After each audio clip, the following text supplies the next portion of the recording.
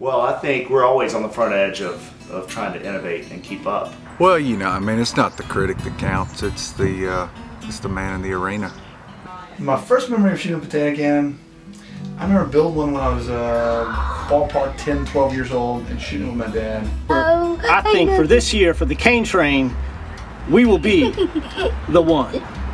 I don't think really participation awards is what this sport's all about. You know, we're here for excellence.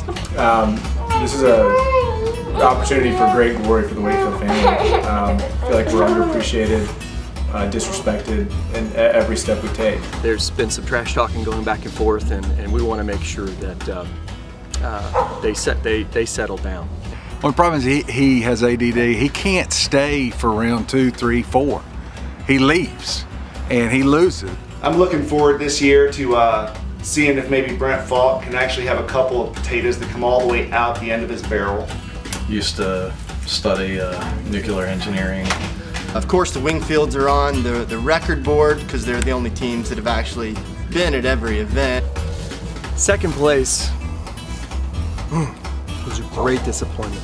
Um, obviously, my hang time success uh, predicts better things to come this year, and I, I predict and guarantee a first place finish.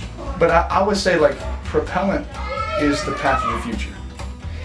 I think you control and meter your propellant and you start winning championships year after year after year. Anybody with the last name Wingfield, you just don't have to worry about, okay? The Wingfield team, because they have been on top so many times, we feel like we know that that's going to fall off. We're not changing anything. We're who we are, and one day it's going to turn for us. Things are going to turn around.